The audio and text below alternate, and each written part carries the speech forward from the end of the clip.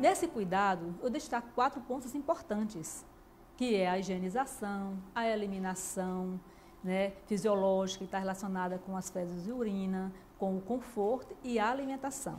Nesse primeiro momento, eu quero falar de um ponto importante sobre a higienização. Higienização do couro cabeludo, que ele deve ser feito pelo menos uma vez na semana.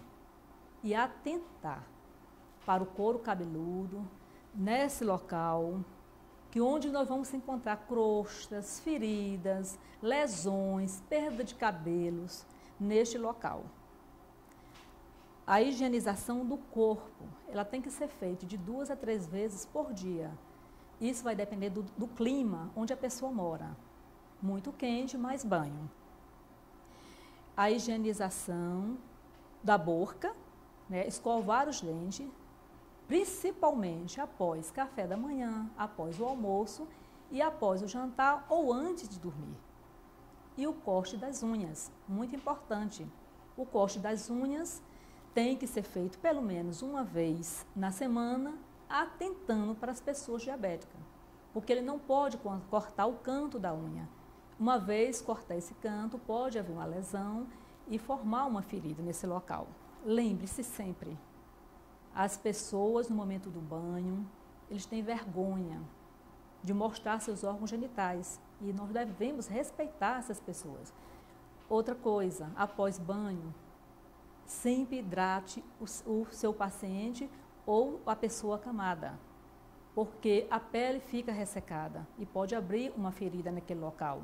Então, hidrate com o hidratante que você tem mesmo em casa. Quando você termina de, de dar o banho, verifica as proeminências ósseas, como o omoplata, os cotovelos, os tornozelos, os joelhos, o bumbum, um pouco acima do bumbum.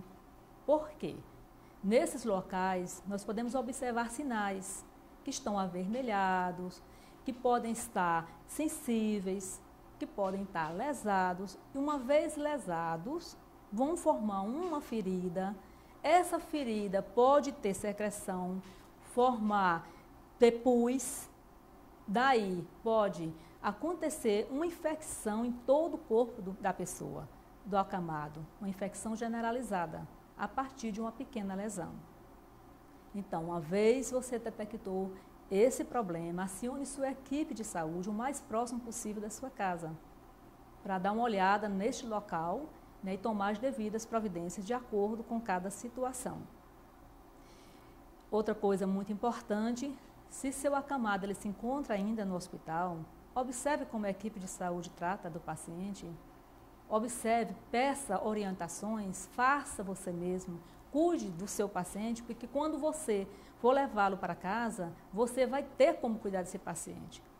Se o seu caso não for um, o paciente internado, procure a equipe de saúde verifique como deve cuidar em casa, para que ele tenha um cuidado de acordo com a situação dele.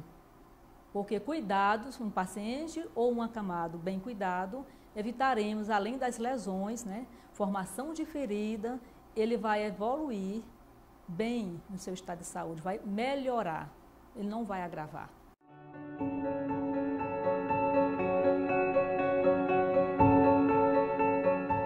A sujeira, de modo geral, ela no ambiente onde a pessoa está, seja ela no corpo, seja ela na, nas unhas. O paciente também com a unha suja, ela vai levar a boca, ali tem bactérias, então vai desenvolver outros problemas, pode agravar a situação de saúde que ele se encontra agora ou surgir novas patologias, novas doenças. Aí, associando com a que ele tem, vai ter um agravamento do, do, do caso né, e a situação dele de saúde vai piorar.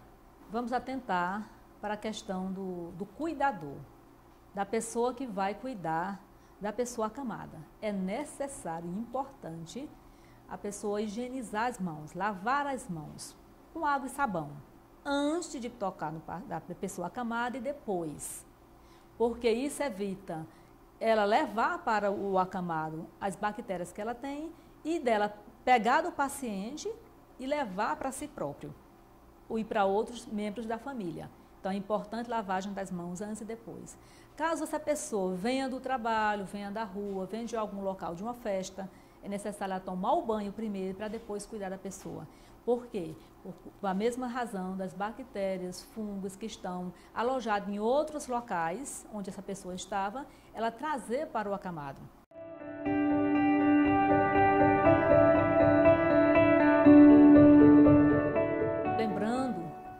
Necessidade do paciente ser sempre, paciente ou acamado, ser sempre comunicado do que você vai fazer. Algumas pessoas se irritam quando as pessoas se aproximam para dar um banho sem explicação.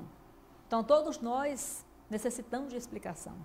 Por que escovar o dente? Vou, fazer, vou escovar o dente, eu vou dar o banho, eu vou fazer o curativo.